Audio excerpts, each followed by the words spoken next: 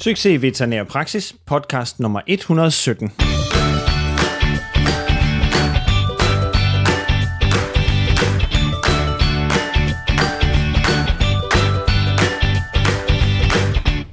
Hej, dyrlæge Søren Pejstrup her. Det her Succes i veterinær praksis projekt er et, jeg har startet for at hjælpe dyrlæger i smådyrspraksis, og øh, særligt interesserede veterinærsygeplejersker også. I dag skal vi snakke om ortopædpatienter, og over på hjemmesiden, der har jeg sådan et foredrag med en af vores øh, ortopædeksperter, som en del af de online-kurser, der ligger på hjemmesiden. Jer, der lytter med her i podcasten, I kan få gratis adgang i en hel måned. Hvis I kigger ind på sivp.dk-4 uger, så får du 4 uger gratis adgang. Og der kan du kigge rundt i alle de online kurser, der ligger på hjemmesiden. Og hvis det viser sig ikke at være noget for dig, så kan du bare melde dig fra igen, og så bliver du ikke trukket for noget. Hvis du har lyst til at blive hængende, og det håber jeg selvfølgelig meget, du har, så koster det selvfølgelig et månedligt medlemskab, men kun så længe du har lyst til at være med. Der er ikke nogen bindingsperiode, du kan opsige fra dag til dag. På sivp.dk-4 uger, der får du altså 4 uger gratis adgang. Og hvis de her ortopædpatienter er enten frustrerende for dig, eller måske noget særligt spændende for dig, så ligger der altså som sagt et foredrag, der handler om netop præcis det. I dag skal vi snakke om frakturer og vurdering af dem, og det er særlig relevant for dig, hvis du fra tid til anden får sådan en i hænderne, også uden måske at ville det, du får den måske undersøgt og finder ud af, at du tænker, at den måske kan have brækket en knogle et eller andet sted, og så skal du rådgive ejeren, og gerne lidt hurtigt, inden at dagen er gået. Hvis det samtidig er lidt svært at få fat i din ortopædekspert, som du plejer at henvise til, så er det måske meget godt ligesom at kende lidt til detaljerne her. Og Damien, som jeg havde snakket med i dag, han er rigtig dygtig på det her område. Han modtager henvisninger, eller rettere sagt, han kører ud og laver henvisninger men det fortæller han selv lidt om her i podcasten. Og han fortæller os lidt om det her med frakturer, og hvordan vi vurderer dem, og hvordan vi rådgiver ejeren bedst muligt, eller i hvert fald giver dem et overblik over, hvad de er på vej ud i. Links og noter til dagens afsnit finder du på sivp.dk-117, sivp.dk-117. Og så over til interviewet med Damien. Hej Damien, og velkommen til podcasten. Tak. Det er dejligt vi to, vi har jo arbejdet sammen, øh, dengang at vi begge to var i Odense. Men øh, siden har jeg øh, øh fundet et andet sted at arbejde, og du har også startet på noget nyt. Kan du ikke øh, lige øh, fortælle os, hvad det er for noget, og hvordan du er havnet i det? Ja, men øh, ja, som vi sagde, jeg var øh, på Odense i godt fem og et halvt år, tror jeg det var nu. Og, øhm, og så øh, slutningen af sidste år, så tog jeg afsted derfra og startede øh, et lidt, lidt nyt koncept i Danmark, det som øh, som mobilkirurg. Uh, så uh, jeg, uh, jeg har specialiseret mig lidt i uh, kirurgi uh, over de sidste 10 års tid. Og uh, nu jeg beskæftiger mig kun med det, og jeg kører ud til andre dørklinikker og udfører deres uh, lidt mere avancerede operationer uh, ude hos dem, så, så de får lov at beholde deres patienter. Så uh, det, det er nu afprøvet i flere andre lande, men uh, det, er, det er lidt nyt til Danmark. Mm-hmm. Men det er altså, hvad skal vi sige, det er et koncept, der på en eller anden måde er testet og afprøvet, altså? Ja, jeg, jeg var på den anden side af konceptet uh, for, ja, for 10 år siden uh, i England, før jeg kunne uh, så meget selv. Mm. Jeg har haft en uh, uh, diplomat, en specialist, der kom på besøg, og um, han kunne udføre ja, næsten alt. Uh, altså det er derfor, jeg fik, uh, fik ideen, og jeg har faktisk også snakket med ham uh, i, uh, i optrapning til, til at lancere mm-hmm. uh, konceptet i Danmark. Ja. Um, så, um, så ja, det er, det er i England, USA, uh, Frankrig, Norge, Sverige, men uh, jeg er den første i Danmark, ja, så vidt jeg ved. Ja, men det er da spændende. Jeg kender heller ikke til andre, altså. Øh, men øh, jeg kender heller ikke alle dyrlæger, men jeg synes da, jeg, jeg plejer at have nogenlunde fingeren på pulsen. Så det, men det er jo spændende. Øh, også se, hvor, hvor det kan føre hen, altså. Det, ja, jeg håber, det, det bliver gjort, gjort op til, at det, det er nok interesse for det, så, så er det bare tålmodighed at lige sige, om, om det bliver taget op. Ja. Nu håber jeg så selvfølgelig også med podcasten her, at jeg kan hjælpe med øh, at give lidt opmærksomhed til, til ideen, sådan at øh, dem, der kunne have fordel af det, rent faktisk lærer, øh, hvad det er for noget, og, og kan komme til at kende dig lidt, men øh, samtidig så håber jeg også, at jeg kan få lidt faglig øh, viden ud af dig den anden vej, at øh, vi kan snakke om nogle af de patienter, som du jo så tager ud og, og ordner øh, for folk, eller ja. hjælper til med, ikke også? Øh, fordi det er øh, øh, ortopædpatienter, ikke også, du, øh, du arbejder Det er øh, blødhedskirurgi og øh, ortopædi. Uh, og uh, jeg har ikke lige investeret i artroskopi udstyret endnu, men det er uh, højt op i uh, ønskelisten. Mm. Uh, jeg håber, at inden for nogle få måneder, så kan jeg også investere i det. Så det bliver de fleste former for kirurgi. Men det er også, øh, øh, hvad skal vi sige, TTA for et sprængt korsbånd og en øh, fraktur ja. og sådan nogle ting. Ja, præcis. Ja, så det er, jeg, jeg plejer ud for TTA til korsbånd, og så har jeg fået uh, Øh, uh, AO sat til at lægge øh, plader og sømme og de forskellige på, på frakturer. Ja. ja. Og det var måske lidt det, vi skulle prøve at dykke ned i i dag, ikke? fordi at øh, mange af os øh, har... Øh, er nu jeg er så heldig at have en, en kirurg inden for rækkevidde, men det, det er ikke alle, der, der er så heldige og måske skal henvise til sådan en som dig i stedet for. Og så øh, bliver vi jo nogle gange stillet nogle spørgsmål af øh, ejerne, som øh, kan være lidt svære, når vi ikke nødvendigvis står med en fraktur i, i hænderne fra tid til anden.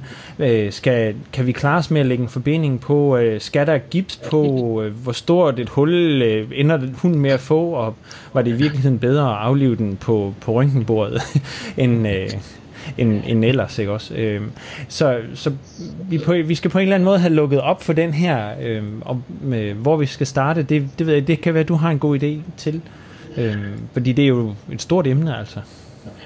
Absolut. Og, og det, er, det kan være svært at forklare til klienterne, at, at en gips er ikke nok til, til langt de fleste.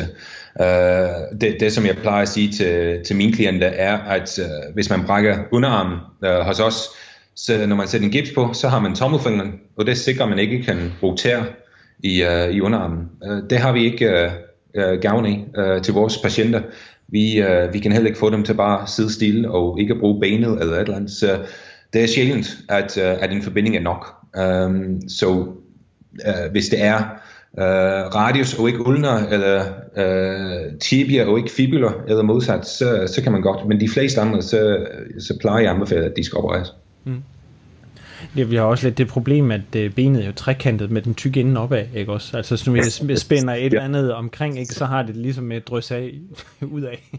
Ja, ja og det, det er altid uh, uh, et, lidt af en, uh, en konkurrence om, uh, hvis, man, hvis man kan lægge en forbinding, uh, om man kan uh, have forbindingen på langt nok, at, uh, at uh, frakturen eller formålet er opnået, uh, før man begynder at få så mange uh, tryksår og problemer, uh, Øh, at, at man skal fjerne uh, øh, bare for at uh, øh, benet. Og uh, forhåbentlig kan man godt kan man godt klare det med, uh, at man kan godt have en forbinding på langt nok, men uh, det, det kan være svært nogle gange.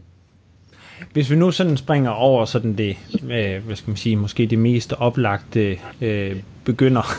øh, altså så, øh, hun har jo ondt i benet, ikke også? Vi undersøger den og kan måske beslutte os for, at den er brækket, enten ved der er krepitation i, eller måske er vi så heldige, at vi kan tage et røntgenbillede om, om at blive klar over det. Så er der jo et hav af mange forskellige typer af frakturer, ikke også? Altså nogen, der måske endda er svære at se på et røntgenbillede, eller i hvert fald er tæt på umuligt at, at mærke på hunden, og så er der dem der, hvor at, øh, øh, benet det ligesom bare hænger og dingler fuldstændig øh, sådan lidt Harry Potter-agtigt, uden en knogle i nærmest, øh, hvor at der er slet ingen forbindelse er til tæerne. Så, så, og så er der ligesom alle mulige der ind imellem. Præcis. Præcis, og, og det er selvfølgelig, hvis man har uh, mulighed for røntgen, så er, er det det bedste, men, men det, det kan være svært også med almindelig røntgen, så hvis man har en fraktur ind i eller tæt på øh, uh, enten carpus eller tarsus, så, så skal der CT til. Uh, man, det er sjældent, at man kan få nok information bare fra en, en røntgen. Uh, det er også vigtigt at tage nogle gode billeder, uh, og ikke lige prøve at uh, tage smutvejen og tage begge ben på en, en plade, eller ikke dreje den lige som det skulle være, fordi det, det betyder både, at det er svært at uh, vurdere, om det er en fraktur, og også om, om det er noget ekstra fissur, eller uh, hvor den er henne. Uh, med for eksempel uh, uh, femoral uh, kaput øh, fraktur, så er det en god idé ikke bare at tage en almindelig øh, VD hoftebillede, så skal man også tage en frog øh, så man kan, øh, så det er til, der kan, man kan se lidt mere. Så det er, det, det er vigtigt at være omhyggelig over for, for ens røntgenbillede. Ja.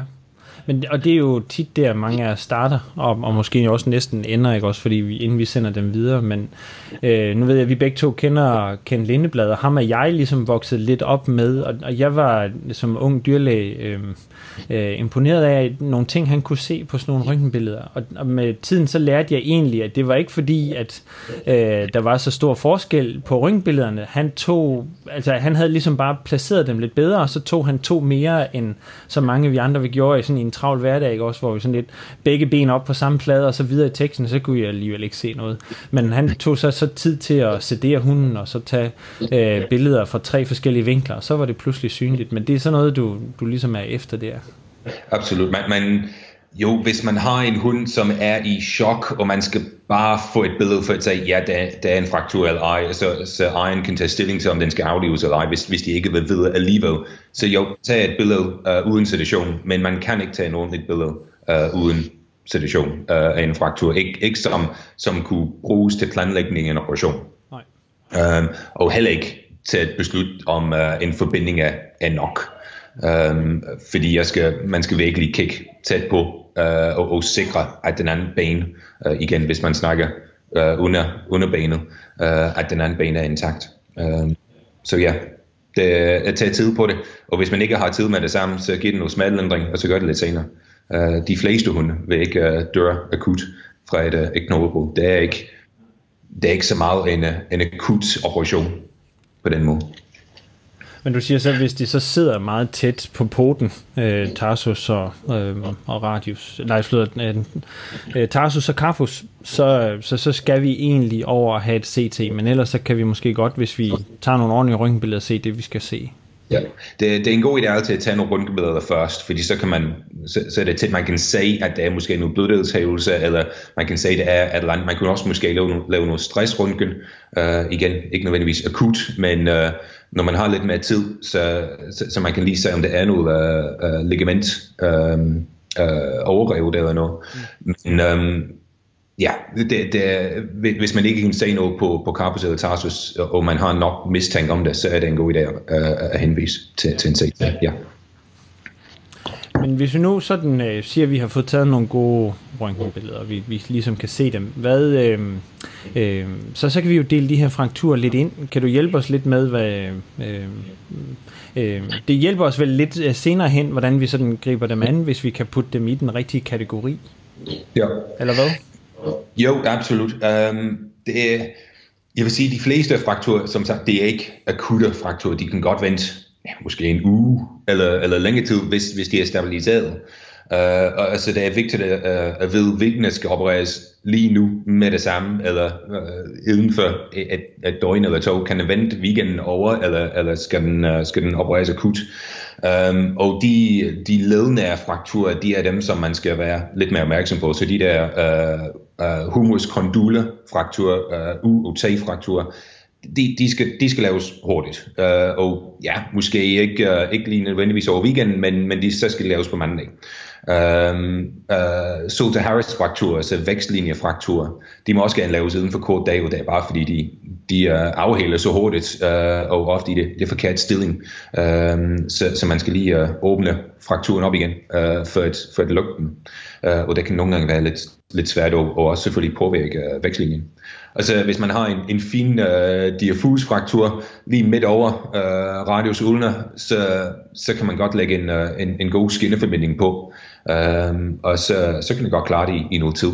Og selvfølgelig nogle gange skal man også lige bestille den bestemte plade hjemme, øh, hvis man ikke har den øh, på lageret. øh, og, og det, det gør ikke noget. Jeg har, jeg har hørt om noget af humane uh, patienter, som uh, har haft brækket arm i uh, flere måneder, før den faktisk bliver opereret.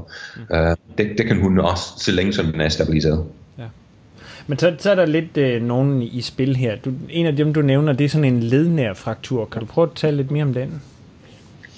Jamen, øh, de skal, øh, de skal øh, reduceres så præcist som muligt for at undgå uh, eller for at formindske uh, risikoen for, for gigt øh, så meget som muligt.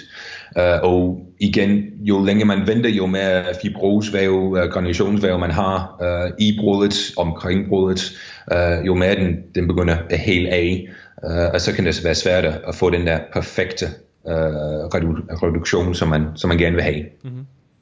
Um, så uh, igen, uh, så der har også derfor er forskellige slags ved den, men noget af dem er også uh, selvfølgelig uh, indtil uh, ledbrusken, um, øhm, og så er det den, den klassisk, der er de her kondulefrakturer, um, øhm, hvor uh, det er en, en kompleks fraktur, og det er svært at, uh, at lukke den alligevel, og hvis man lige venter en uge eller to, så, så kan det være umuligt, og så har man en, en, en markant dårligere prognose. Ja. Men altså, når din lednære, så er det, når frakturlinjen den kommer meget tæt på, eller måske lige frem går igennem ledet, ikke også? Ja, det er det, som, som er det værste selvfølgelig, hvis den kommer gennem uh, ledbrusken, uh, og så man skal uh, komme ind til ledet for et, for, for et det. Ja. Øhm, og det giver måske, hvad kan man sige, logisk nok mening, at ledet det ligesom skal være i øh, korrekte anatomiske forhold igen så hurtigt som muligt, for at, øh, at det ikke giver alt for meget artrose. Præcis. Ja, hvis, hvis, uh, hvis uh, der bliver noget skade til ledbrusken, det, det kan aldrig uh, helt af igen perfekt. Det, uh, det er umuligt. Man får noget, uh, uh, noget andet slags for brusk, det, det danner i området, så man ikke, uh, så, så det er noget beskyttelse. Um, men selvfølgelig jo tættere uh, det rigtige brusk, uh, ledbrusk, uh, ligger uh, på hinanden, så jo mindre tryksændring, man får øh, over læderoverfladen. Øh, og igen, så, så formindrer man øh, slid til det. Hvordan øh, kirurgisk teknisk er de også øh, svære at have med at gøre som kirurg? Præcis, ja. Øh, for eksempel for at øh, lave de fleste UOT-frakturer, så skal man lave en øh, osteotomi øh, øh, olecranon, så man kan komme ind øh, bagfra, så man kan se ledet, når man kommer dertil. Øhm, det er det samme med de fleste slags forledende øh, frakturer. Man skal lave en eller anden form for osteotomi, fordi man skal lige flytte de, øh, de sene ud af vejen, øh, så man kan komme der til det samme med, med hofte, for eksempel med trochanter Maja. Øhm, så skal man lige løfte den, så man kan komme ind. Så ja, det er en mere kompleks operation. Det er noget, som, som kræver lidt mere øh, erfaring øhm, øh, og, øh, og tid.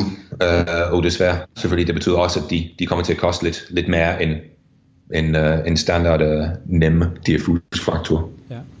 Men og det er også lidt derfor, jeg sådan fisker lidt efter det, ikke også? Fordi det er sådan en ting, at, at vi jo godt kan snakke med ejeren om, ikke? Det er jo, at øh, hvis det er en ledende fraktur, så skal folk regne med, at det bliver dyrere, og at øh, øh hvis du har flyttet nogle sene tilhæftninger rundt, så, så skal hun også holdes i ro formentlig i længere tid og sådan noget. Ikke? Så, så der, der bliver et længere opfølgende forløb også på sådan en.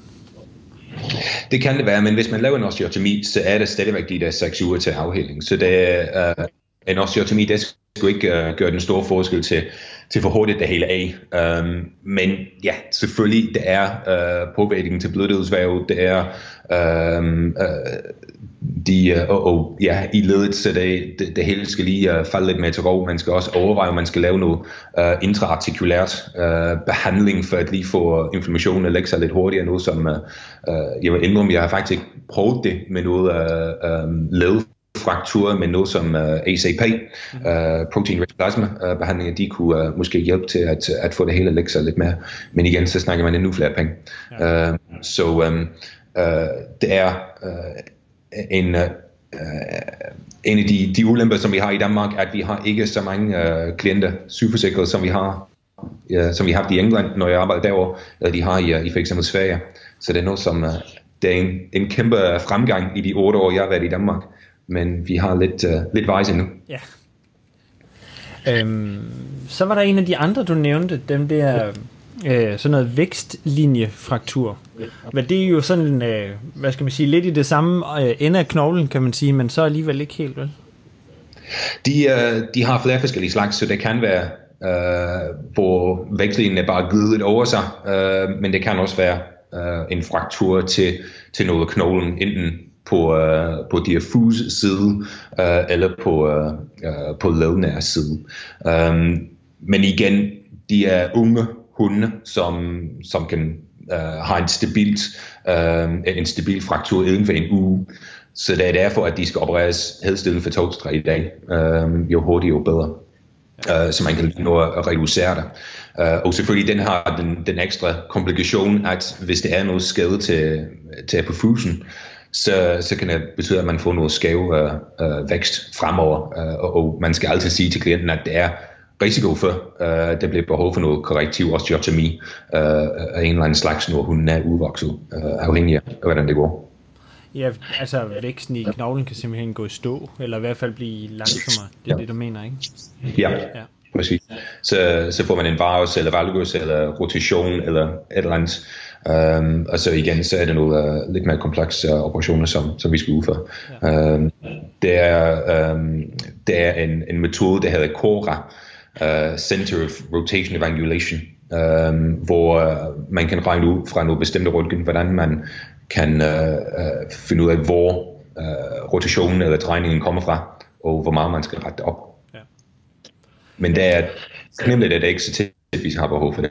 Nej, og, øh, og det, øh, jeg, jeg sad godt og kiggede sådan lidt på sådan en, en video af, hvordan de laver den der Cora, C-O-R-A, er det ikke sådan, øh, ja. hvordan at man skærer benet over i to, og så drejer det en kvart omgang, og, og vipper det en vinkel modsat, og så skruer man det sammen igen. Sådan det, det er simpelthen, øh, ja.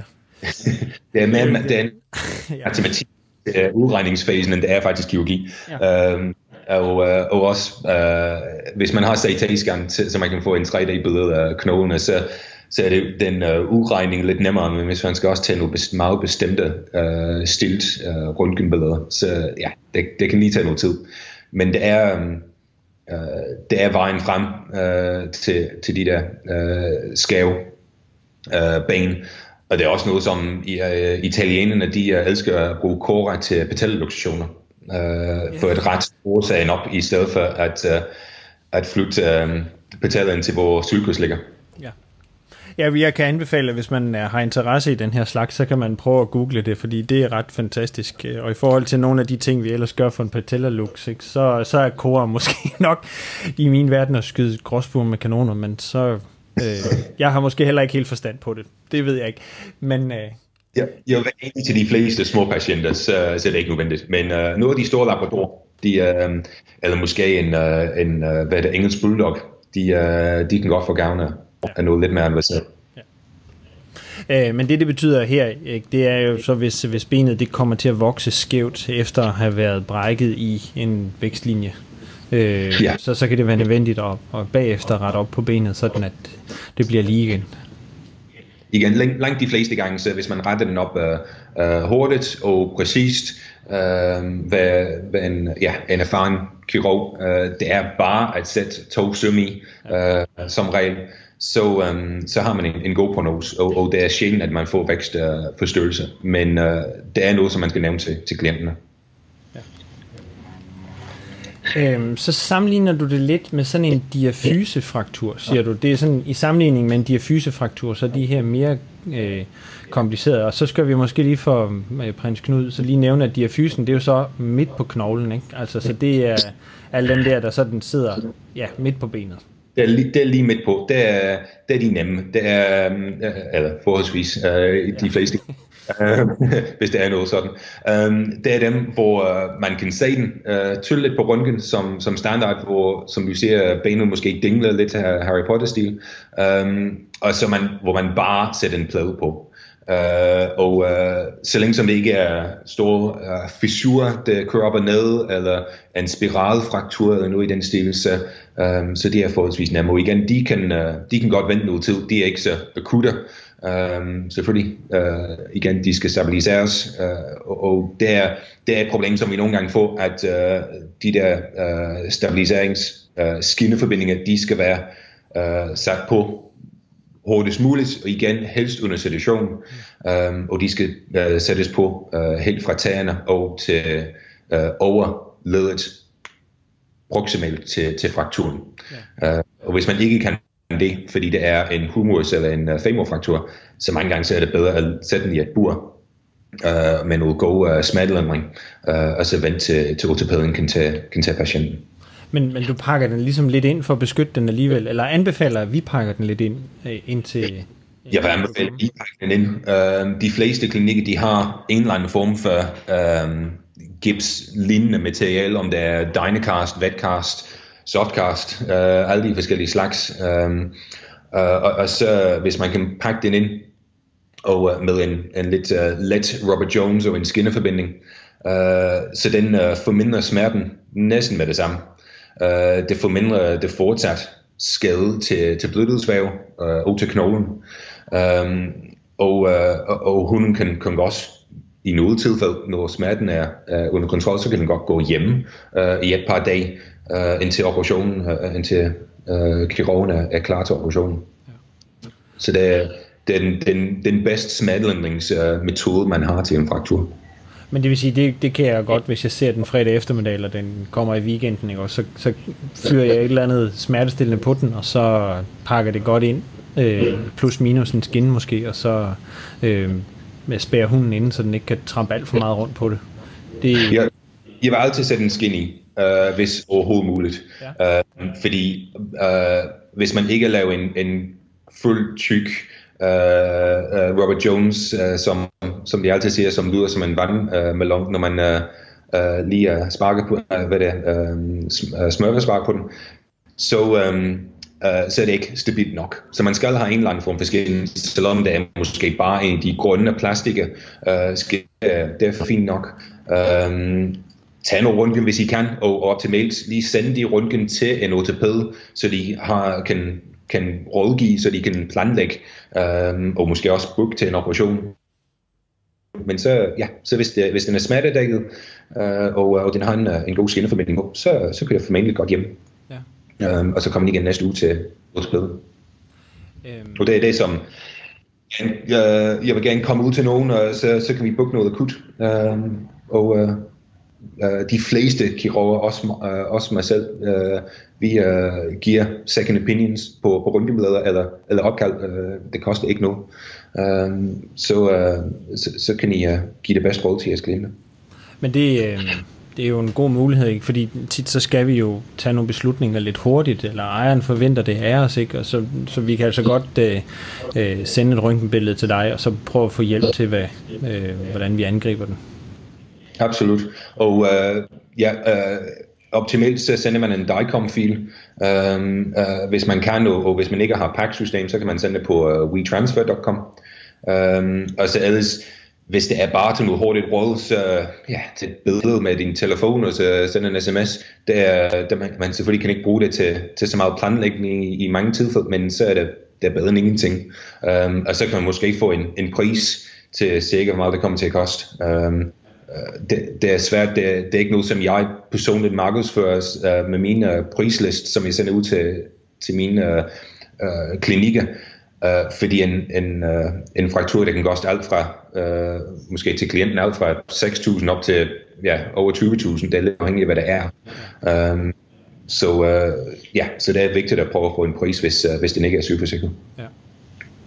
Øhm, men altså, så for lige for at vende tilbage til det her med skinner og sådan noget, så man, man kan få sådan nogle øh, øh, flergangsskinner, som er lavet sådan noget hårdt plastikmateriale, ikke? Ja. sådan noget grønt plastik, man så simpelthen pakker med ind, pakker ja. benet ind i noget vat først, og så pakker øh, den der plastikskin udenpå, og så noget øh, elastikbind yderst, ikke? Eller det er sådan noget? Ja. Ja, præcis. Det er ja, øh, noget uh, softband, uh, hvis, hvis man må uh, nævne uh, mærke. Uh, noget, ja, altså. Hvis der er noget af det, du foretrækker, så er det jo godt at vide. Altså.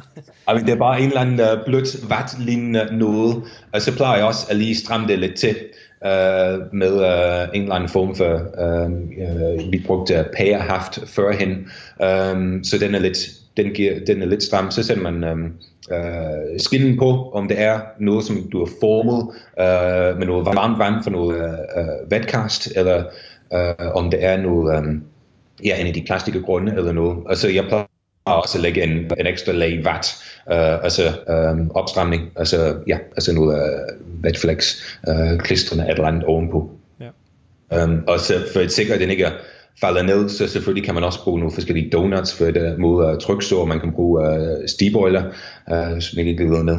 Um, en, uh, en forbinding, som ikke er lagt ordentligt, eller langt nok op over det næste led, uh, faktisk kan gøre mere skade, end at bare lade benet dingle. Ja. Så hvis man ikke er, er tryg nok ved at lægge en, en god skinneformidling, så, så er det bedre at sætte det i et bur ja. uh, og, og holde den stille. Men og det er lidt det jo, øh, fordi at vi er tit tvunget til på en eller anden måde at gøre noget, når den kommer der fredag eftermiddag, eller hvornår det nu er, ikke også? Øh, vi er nødt til at gøre et eller andet for, for vores patienter, for klienten, men øh, man har måske ikke det store kursus i, i forbindinger. Og jeg må tilstå, at, at det meste, jeg sådan har forhold til sådan en, en rigtig Robert Jones, det var noget, vi gjorde på et dødt hesteben, dengang jeg gik ind på Frederiksberg for nu over 10 år siden. Ikke også? Vi har lagt en del forbindinger, men hvis vi snakker rigtig Robert Jones, så skal der en hel del vat til, ikke også? Så man skal ligesom have prøvet det en gang mere end på et hesteben, for at det sådan bliver rigtig godt, ikke? Men, øh, det, det derfor, jeg plejer at anbefale, at man lægger en skinneforbinding i stedet for. Ja. Uh, fordi så har man den støtte, man skal ikke uh, lægge de tre lag. Uh, man kan ikke lave en, en Robert Jones med, for eksempel softband, den er ikke tyk nok. Det skal være et rulle rigtigt bat ja. uh, for at gøre det. Så, um, så det er derfor, jeg, jeg, jeg siger en, en, um, uh, en skinner. Men jeg, jeg har tidligere holdt foredrag uh, lige præcis til forbindinger, og øh, det var en gang, hvor vi holdt kursus, hvor det, det ikke var særlig meget tid til det praktiske.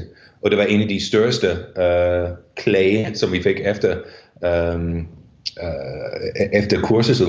Øh, Udover at øh, det var nogen, som ikke syntes maden var godt nok, eller et eller andet, så var det, at det ikke var nok praktisk til, til forbindinger, fordi mange er bange for dem. Øh, at de ikke kan, kan ligge ind ordentligt. Øh, men så, ja, så er det selvfølgelig, at, at uh, optimalt øve sig uh, at tage på nogle kurser, Um, men ellers at, at sikre, at mindst, mindst den ene i klinikken her er tryg ved det. Men det jeg så også lidt får ud af det her, det er jo, at, at øh, den bliver pakket ud igen efter weekenden. Ikke? Så, så på den måde, ja. så jeg skal ikke øh, nødvendigvis på forhånd øh, føle, at jeg skal have lagt en forbinding, der er så god, at det ben det kan vokse sammen uden din hjælp. Altså, det, Nej, vi, vi snakker om smertelindring, ikke også, og så skal den lægges på en måde, så det ikke giver alt for mange tryksår og, og holder benet i en alt for skæv vinkel, men altså, det, det er sådan bare aflaster lidt, indtil at øh, vi kan få mere kompetent hjælp, så at sige. Præcis. Det, det skal ikke være en, en, nødvendigvis være en forbinding, som kan ligge i to-tre uger. Uh, det skal bare være noget, som, ja, som vi ser, klarer det uh, over weekenden, uh, uden at, at give uh, mere skade uh, og beskytte og, og smadle uh, altså, så meget som muligt. Um, og så hvis det er, at, at patienten så bliver henvist til mig, selvom det er en, uh, et brud, som kan klares bare med en forbinding, fordi det er kun radius og ikke ulner, så vil jeg meget gerne komme ud og lægge en, en forbinding. Uh, de fleste kirurger, vi øh, har haft nok uh, erfaring med at, øh, at lægge forbindinger, at, at vi kan gøre det trygt nok. Um, I England så vi fik uh, sygeplejersken til at lægge de fleste af dem, men jeg tror også, at uh, mange af dem er, er bange for at lægge dem, så, så jeg vil gerne komme ud og bare for at lægge en forbinding, um, som, som så kan holde i, i et par ugers tid. Um, og, og lære, også selvfølgelig lære fra mig, uh, om hvordan man kan gøre det. Det falder nok også lidt tilbage på os dyrlæger, ikke også? Fordi hvis ikke jeg er helt tryg ved at lægge en forbinding, øh, så, så er jeg i hvert fald ikke tryg ved at give det videre til sygeplejersken. Øh, så, så på den måde, så, så, så skal man jo i hvert fald, hvis ikke hun har været på kursus, så kan lære mig det, altså. Men øh, ja, ja. det forekommer jo også, altså. Ja. Hvordan øh, i forhold til de her forskellige typer af, af diffusefrakturer, altså de kan jo gå lige over, de kan gå på skrå, og de kan gå hele vejen rundt, ikke også? Eller hvad hedder det, sådan øh, være sådan nærmest spiralagtig øh, i strukturen sådan noget. Øh, gør det nogen forskel øh, for det, vi snakker om her? Altså når vi nu lige snakker om mig, der, der ser den som first opinion? Nej, for at, for at sige det, for at sige det kort. Uh, diffuse frakturer hvis man kan stabilisere det fra den ene ende til den anden, så igen fra øh, ledet under, hvor jeg plejer at sige fra tæerne, øh, og så og til, til, til overledet proximalt, så, så, så har man stabilt. Um, de er lidt mere, igen, ledmere fraktur, så selvfølgelig skal man komme endnu et, uh, en knogle op, uh, og hvis man begynder at snakke, um, uh, hvis vi kommer tilbage til humoral uh, kondulefraktur, så ja, de, de er ondt, uh, og enten man, man lade være med at pakke den ind, øh, uh, eller man, man skal lægge en, uh, en god stram forbinding hele vejen øh, op over brystkassen, uh, eller helt over uh, hvad det, uh, hoftene uh, og bækken, uh, for at stabilisere det. Og det er, det er noget uh, større og, og mere besværlige uh, måder at lægge en forbinding, men uh, hvis man skal stabilisere det, den eneste måde at gøre det. Um, men ja, så de fleste forbindinger, som vi snakker her, det er fra albuen eller, eller knæet nedad. Mm. Um, og og det, det, det plejer at være okay nok uh, at lægge en, um, en forbinding der. Ja. Uh, som sagt, bare sikre den ikke med, med, med stiber eller, eller med, um, uh, med, med et, ja, sikre den er stram nok og ikke for stram. Det, det er lidt en, det er en kunst, uh, og, og det, det, det tager øvelse ligesom alle andre ting. Ja. Øhm, er der nogen af dem her, vi kan få til at vokse sammen, hvis øh, forbindingen er lagt ordentligt? Altså, eller skal de opereres alle sammen? Igen, det er, øh, øh de, er de områder, hvor, man, hvor der er flere end en knogle øh, øh, i området. Så øh, hvis man har øh, op til to, måske tre metatarsale eller metacarpaler, så kan man bare lægge en forbinding. Uh, og der vil jeg faktisk tæt bruge de grønne plastik, um, fordi de er, de er lige, og, og de kan passe fint over, over poten der. Um, tæerne selvfølgelig, de fleste af dem vil man heller ikke operere. Um, men når man begynder at komme til Carpus tarsus, og så op til radius ulna, um, så, så skal man begynde at overveje operationen lidt mere. Um, også nogle gange, selvom den ene uh, knogle er intakt, mm. uh, afhængig af, uh, hvordan det ser ud. Men øhm, ja, hvis, hvis radius og ulna er, er knækket over, så skal den opereres. Ja. Uh, fordi ellers kan man ikke uh, få en, en ordentlig uh, afhælling, man får enten en non-union eller en mal-union, eller uh, ja, et skævt ben på en eller anden måde, som kommer til at genere hunden og dens led på, på længere sigt. Ja. Ja, altså teorien er lidt, at hvis nu kun ulna er knækket, men radius er intakt, så, så støtter radius vel på en eller anden måde, ikke også? Og så hvis det ikke er alt for øh, ustabilt en fraktur, så kunne man måske med lidt held og lidt snille øh, slippe afsted med kun forbindingen. Ja, så har man en intern splint, ja. øh, hvis man har radius intakt, øh, eller ulven intakt, øh, og den anden er knækket over. Så, um, så jeg vil stadigvæk lægge en, en skinneforbinding øh, udenom, men hvis man har den interne skin ved, ved den anden knogle, um, så kan den ikke dreje, så kan den ikke um, bøje. Uh, altså så længe som man har ja, den eksterne støtte fra forbindingen, ja. uh, så den vokser fint sammen.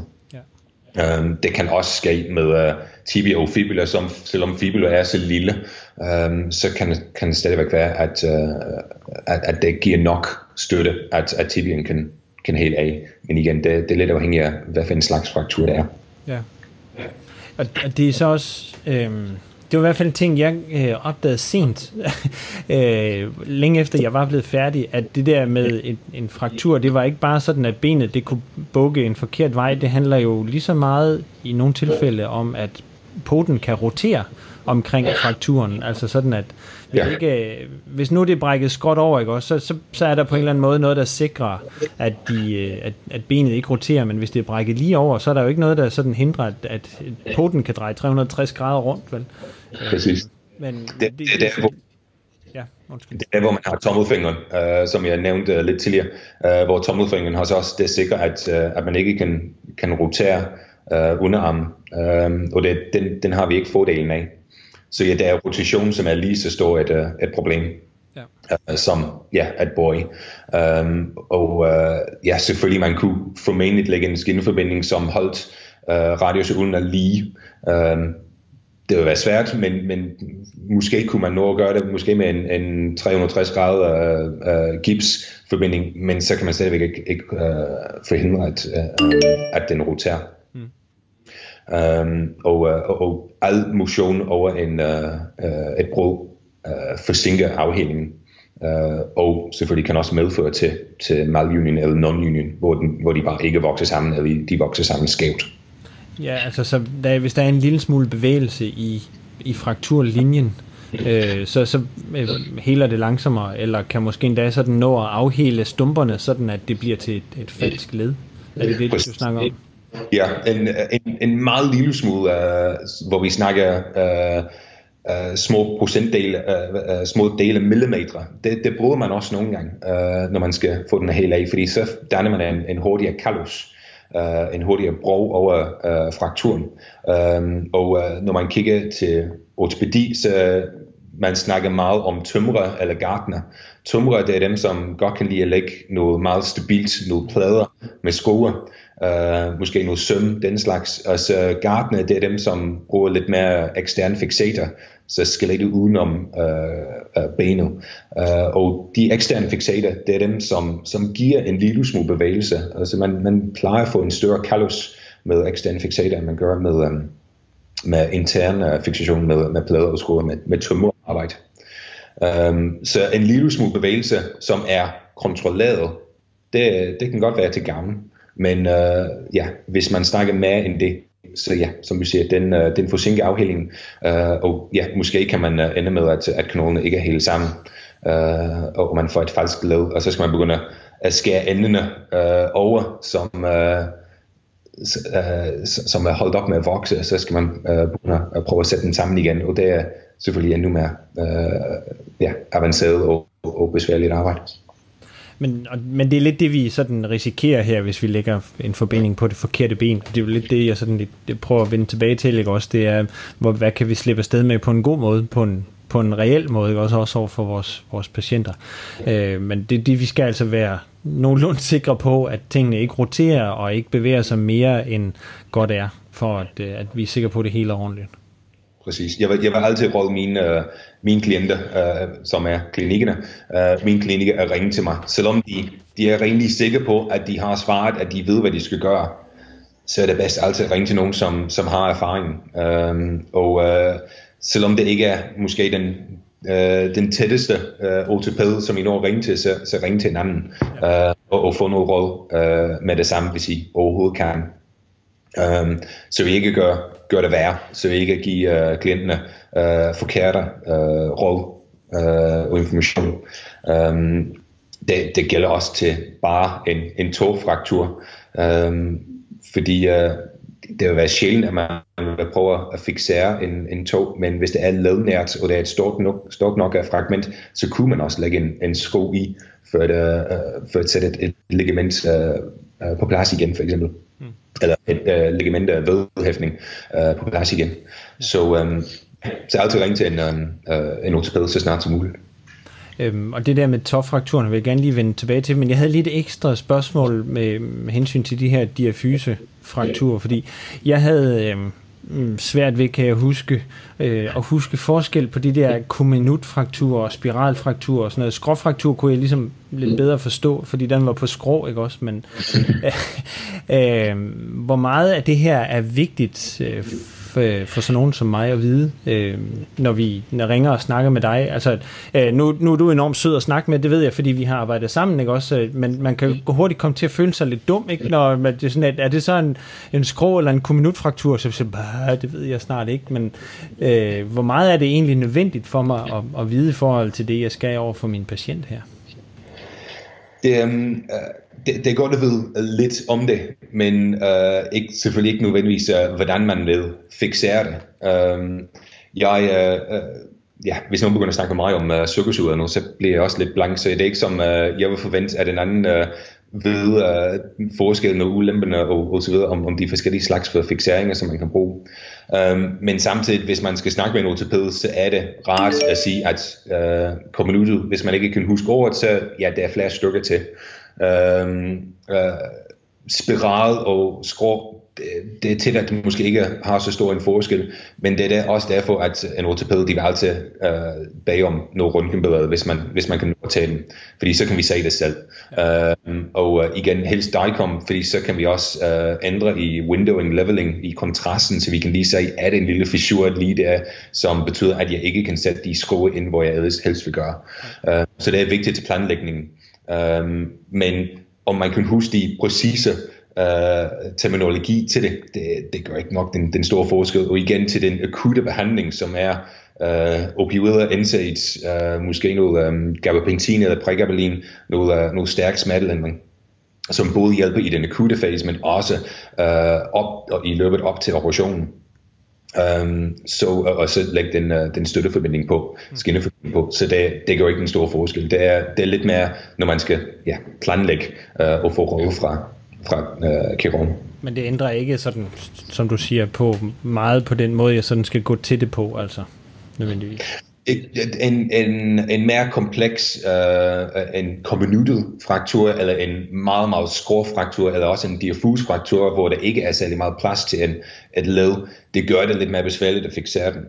Um, så det kunne være, at Uh, det kræver lidt, uh, uh, lidt, mere, uh, lidt flere implantater, eller det tager lidt længere tid til operationen, så det kunne være, at enten det, det har noget at gøre med prognosen, um, eller med prisen, og det er selvfølgelig også noget, som, som man skal vide, um, men det er også noget, som uh, ortopæden bare med et, uh, et billede på, på uh, telefonen, uh, at man kan få en, forhåbentlig få en fornemmelse af, hvordan, uh, hvordan det kommer til at, at være.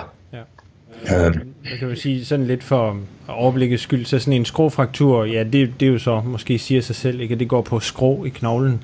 Og en, og en spiralfraktur, øh, den gør jo også, men, men er måske lidt mere kompliceret, eller den er i hvert fald, øh, der er måske mere end en brudlinje, ikke også? Øh, og ja, så, ja, brud, som lige kører rundt her. Øh, ja, ja, kører rundt om, om knoglen. Og kommunutfrakturen, det er så, hvor at den ligesom går på skrå to veje, ikke? så det er, det er knækket over, og så er der sådan et trekantstykke øh, tit. I hvert fald de billeder, der er i bogen, ikke? Også, det er sådan et, øh, en, en skråfraktur den ene vej, en skråfraktur den anden vej, og det giver så sådan en trekant, der så er spaltet fra midt i knoglen. Ikke? En, en fraktur, det er bare, hvor når der, når der er flere end to stykker. Så hvis, man, hvis den bare knækker over lige over, så har man en proximal del, og man har en distal del uh, af knoglen. En konvolutofraktur er så snart, som man har det mindste lille fragment, som kommer ind over, uh, uh, som, er, som også er knækket af, eller ja, som det som du beskrev, det lyder som en, uh, en butterfly mm. uh, uh, fraktur, hvor, hvor der er to skrå, og der er en lille, ja, som vi siger, trekant område, som er knækket af. Um, men alle uh, brud, som har flere end de to oprindelige stykker, proximal distal, så er det en konvolutte. Ja. Uh, og det kan være alt fra ja, et stort stykke som en butterfly, uh, helt ned til bare noget støv. Ja. Uh, hvor der er masser af, af små frakturer, uh, som er selvfølgelig mere ustabil. Uh, og alle konvolutefrakturer, de er mere ustabile. Uh, man skal prøve at fixere dem. Men det, der så også lidt betyder, ikke, det er jo, at hvis der er mange stumper, så er der færre ender, eller der er mindre plads til at sætte skruerne fast i, øh, i, hvad det, i den knogle, der ligesom skal holde enderne, ikke også? Så det, øh, at hvis, øh, hvis frakturen sidder, øh, måske ikke sidder i ledet eller meget tæt på ledet, men sidder op i retning af ledet, så bliver der måske kun plads til en eller to skruer, og det bliver så igen mere kompliceret at forlænge operationstiden og sådan noget. Det er sådan lidt noget, ejeren måske skal vide, ikke også? Så hvis der, der er flere stumper, så, så tager det noget længere tid at, at få det til at sidde ordentligt.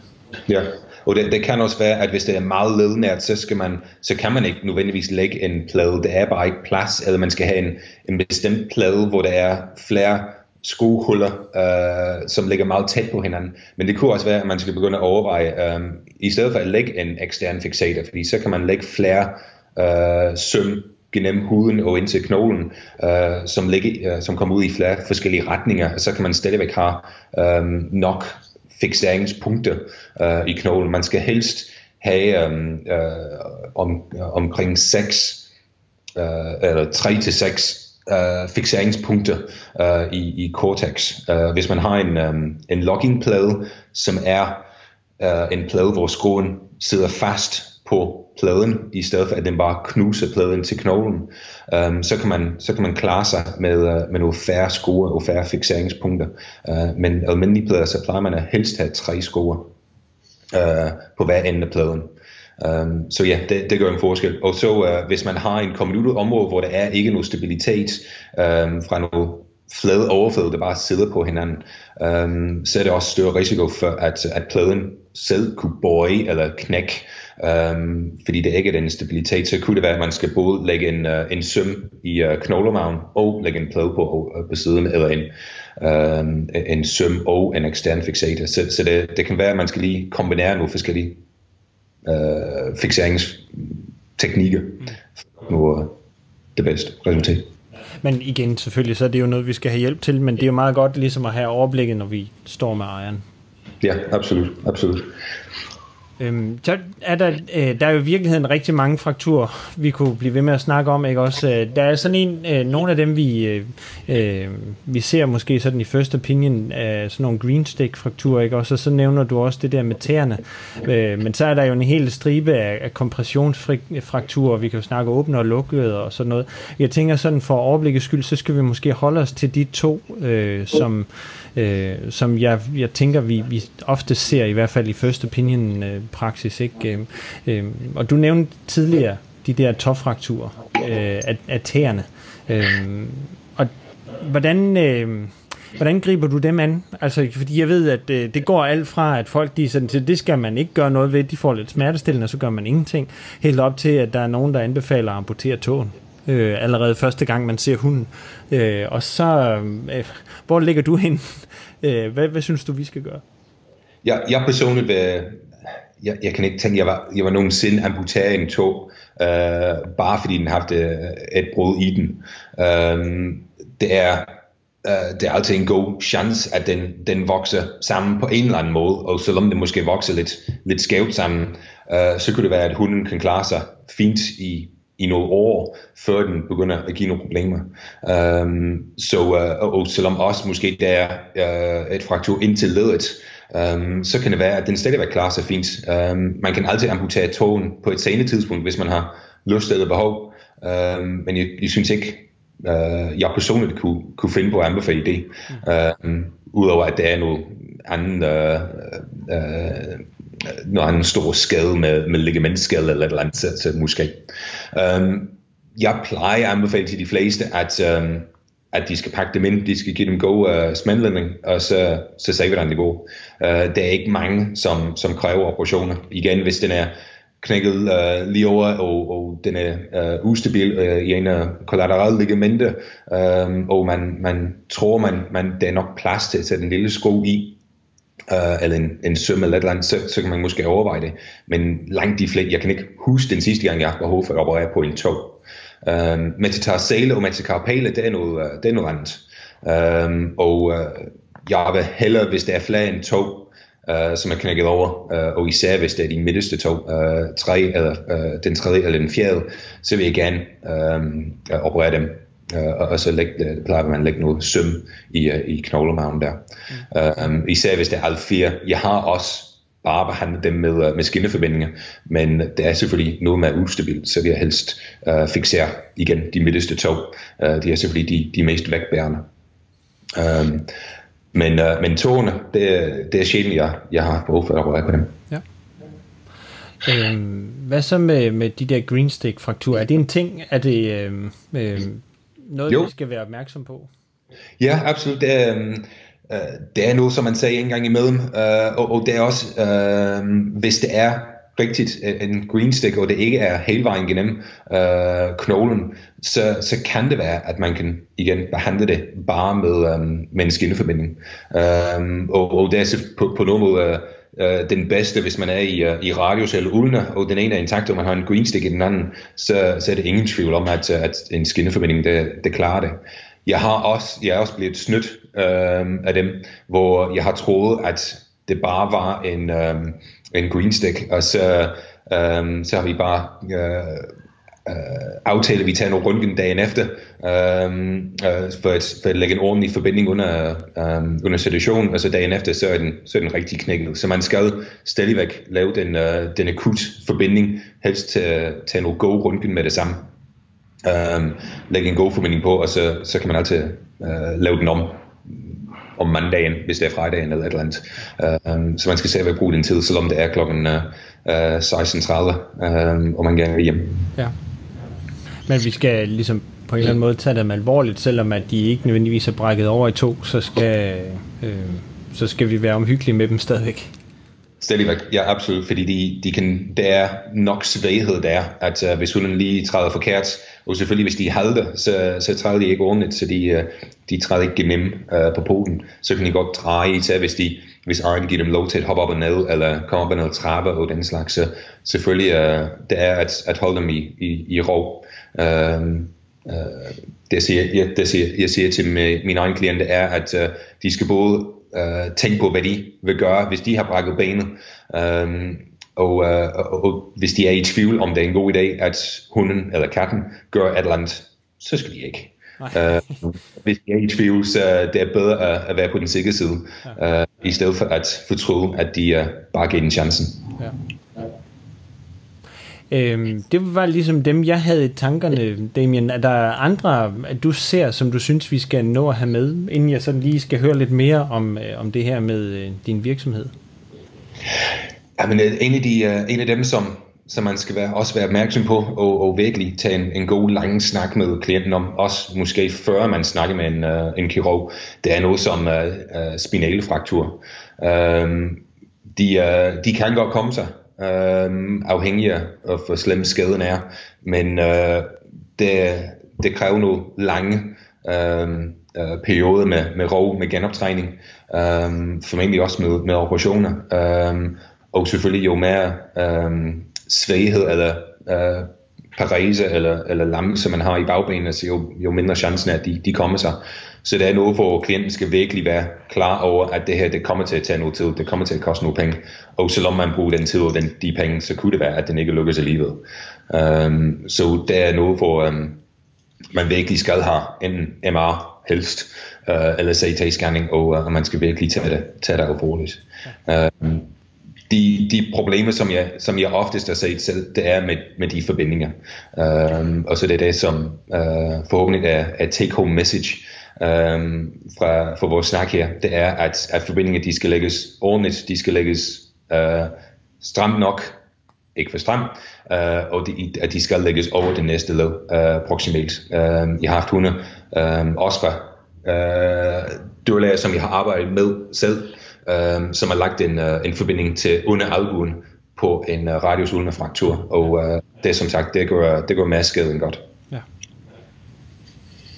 Øhm, men øh, du kan jo så hjælpe os, som du siger. altså, vi kan, vi kan få fat i dig jo. Men, øh, ja, og selvfølgelig så sørger jeg for, at de nødvendige oplysninger, de kommer til at ligge på hjemmesiden, sådan at de er, de er til at finde eller genfinde, sådan at, at vi kan få fat i dig. Øh, men tanken er lidt, at du, som du siger, du kommer ud til os, og så enten øh, hjælper os enten med at blive bedre til at lægge forbindinger, eller øh, simpelthen øh, limer hunden sammen igen for os. Øh, men du gør det, øh, du kommer ud på folks klinikker og gør det. Ja, jeg har, jeg har alt mit eget udstyr, så uh, det er ingen investering, investering overhovedet øh, uh, for jeres side. Um, jeg, uh, jeg har alt fra Øh, uh, skalpel og saks og afdækninger øh, til, uh, som sagt, AO-sæt fra uh, 1,5 mm, som kan klare de, uh, de fleste, de, de mindste chihuahua, uh, op til 3,5, som kan klare de fleste store grænne også. Um, altså alt andet, det, det går med. Uh, og som sagt, forhåbentlig uh, lige om lidt, så har jeg også uh, udstyr til artroskopi. Jeg kommer ud med, med det hele. Jeg låner jeres uh, operationsstue, jeres øh, anestesiapparat og anestesimediciner. Øh, jeg har nogle få mediciner med til noget som øh, epidurale, øh, men, men langt de fleste mediciner, NSAIDs og Propofol og dextromatol, opioider osv., dem, dem låner jeg af øh, klinikken. Og så ideen er, at øh, I beholder jeres klienter. De skal ikke køre langt øh, med øh, en, en smerte påvirket af øh, hunden eller kat. Øh, jeg er ikke nogen konkurrence for jer. Jeg, øh, jeg har ingen first opinion øh, klienter overhovedet. Jeg, øh, jeg har ikke interesse i det. Jeg arbejder kun ud fra øh, henvisninger. Um, og så jeg kommer ind, jeg er taxer, jeg er patienten, jeg taxerer dyrklinikken for min tid og mine materialer, og så dørklinikken taxerer videre til klienten. Og uh, I selvfølgelig skal, skal tage noget for jeres tid, for jeres uh, materialer, og så videre. Og så I må også meget gerne tage uh, lidt overskud fra min regning, det blander jeg mig uh, udenom. Ja. Uh, så selvfølgelig er uh, dørklinikken for os en fortsat omsætning fra deres egen klient uh, og patient, uh, i stedet for at de, uh, de sender videre til en henvisningshospital. Men kan vores øh, operationsstuer godt leve op til den standard, der skal til der? Selvfølgelig der er, der er en stor forskel uh, i, uh, i operationsstue, um, men de fleste uh, operationsstuer, de kan, uh, hvis man nok uh, med, med lidt tid um, og med lidt uh, plan, uh, planlægning, så kan man godt uh, gøre dem rent nok, at man også kan lave ortopædi. Selvfølgelig med ortopædiske operationer, så skal de også have røntgen. Uh, jeg kan ikke udføre uh, ortopædiske operationer, uden at jeg kan tage en røntgen både før og efter uh, operationen. Så det er, uh, det er et krav. Um, men uh, de fleste operationsstuer, hvis man kan lige fjerne alt det overflødige, øh, uh, udskanneren og øh, øhm, uh, um, uh, forbindingskasse, som ligger på operationsbordet og alt den slags, så, uh, så kan man, man tørre den af, og optimalt selvfølgelig dagen før, um, så, så kan man godt operere de fleste steder. Det er det er ikke så rent, og det er ikke så godt og sterilt som uh, på de store hospitaler, hvor de har um, uh, positiv uh, ventilation og um, en helt steril operation, uh, operationsstue, som kun bliver brugt til ortopedi. Um, øhm, men uh, med, med, med god uh, uh, forberedelse, um, og, og flittig skyldning uh, under operationen osv., så, så, uh, så kan man stadigvæk få en, en lavere komplikations- og infektionsrisiko. Øh, og, hvad så med, med narkosen? Altså, øh, vi har jo næsten alle sammen øh, vores egen måde at gøre tingene på, ikke også? Og du har sikkert jo også et eller andet krav til noget bestemt type af medicin og præ, der skal gives og sådan noget. Altså, du siger, ja. du har lidt med, ikke også? Men, øh, øh, øh, men jeg gør det måske på en anden måde, end du ville forvente, eller hvad? Ja. Jamen, hvis, hvis, når jeg kommer ind, så, så vil jeg gerne få lov til at overtage patienten. Um, så, uh, så jeg vil gerne få lov til at styre, hvad for noget præg den får. Um, de, de mediciner, som jeg plejer at bruge, de er, uh, eller som jeg uh, plejer uh, uh, uh, dørklinikken, som jeg plejer at bruge, de er almindelige mediciner. Um, de ting, som er lidt mere ualmindelige, som uh, markain og um, uh, konservativ fri morfin, som man bruger til epiduraler. Uh, det er dem, som jeg har med. Jeg har også uh, IV antibiotika, fordi det er ikke alle klinikker, der har det. Uh, men hvis man snakker dextrometor og metadon og, um, og propofol og så videre, de, uh, og ketamin, uh, det har de fleste klinikker, og hvis de ikke har dem, um, så kan de give en god argumentation for, hvorfor de skulle have dem, ja. um, uh, og også bruge dem fremover. Um, så uh, det, det kunne være, at jeg vil gerne, at, uh, at nogen lige køber et eller andet inden fra apoteket. Um, men lige knap alt andet, så kommer jeg med, med det selv. Ja. Um, uh, igen, så det er ikke en investering, så det koster ja, ikke noget, at, at I skal få mig, få mig ind. Nej, men øh. på en eller anden måde måske også meget godt, at du på, tager kontrol over patienten, ikke? Fordi ligesom med det med forbindingerne, så kunne jeg også være usikker på, om den er smertedækket godt nok, eller om den skal øh, bedøves på en anden måde, og skal have noget mere muskelafslappning, end jeg er vant til, og sådan noget, ikke? Så, så på den måde det er det jo meget godt, at du tager kontrollen over det, synes jeg. Og jeg, jeg, jeg, jeg, tager, jeg tager også ansvar for det selvfølgelig. Jeg, øh, desværre som kirurg, øh, det bliver komplikationer. Øh, det bliver problemer.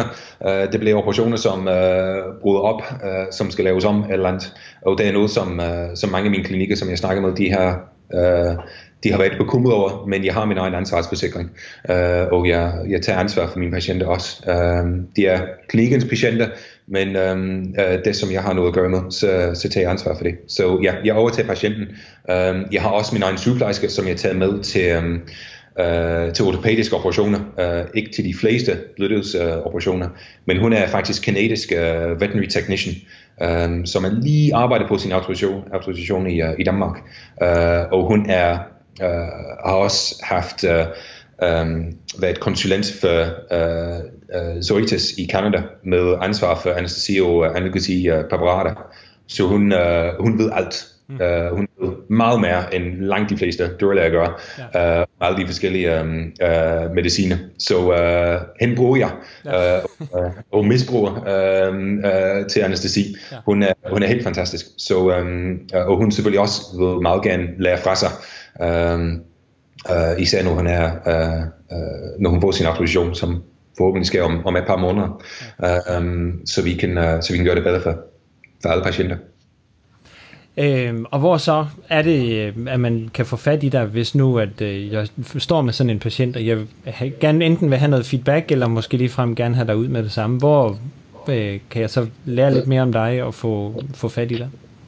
Jamen, min, øh, min virksomhed øh, havde den, den engelske dørlæge, som er rimelig passende. Øh, jeg kom til Danmark for otte år siden cirka, øh, fra England af.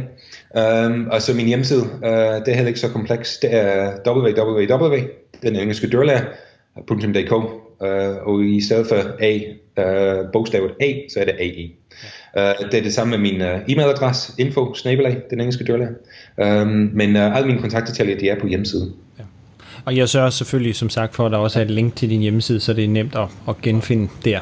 Øhm, for dem, der ikke har hænderne fri til at skrive det ned lige nu. Ja, det, det var dejligt. Tak skal du have. Øh, Damien, du skal have mange tak for din tid og al din, øh, din faglige viden. Det var en fornøjelse at tale med dig.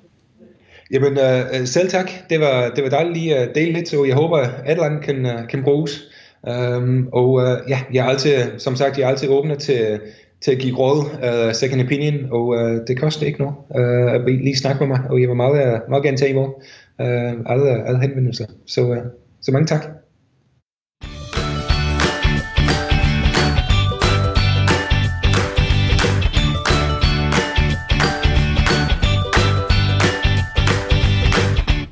Husk de her to ting. For det første, at du kan finde links og noter til dagens afsnit. Dem finder du over på hjemmesiden på sivp.dk-117. For det andet, at du kan få gratis adgang til de online kurser, der ligger på hjemmesiden. Du kan som podcastlytter få fire uger gratis adgang ved at kigge over på sivp.dk-4 uger.